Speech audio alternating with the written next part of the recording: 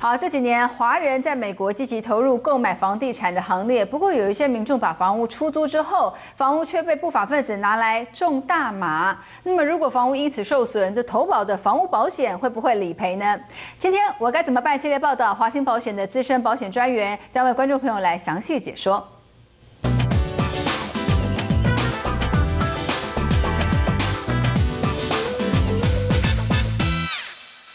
因为这些集团他们来租了这个房子的目的来种大麻，他们其实会，嗯，破坏这个房子相当大。当然，当然他们所做的不是恶意，说是要故意把你的东西不喜欢这个房东，然后把东西拆坏。但他们是因为要达到他们的目的来种这个大麻，他们会把你的墙壁拆掉，扩大空间；他们会把天花板拆掉，装他们的风扇，装他们的灯光。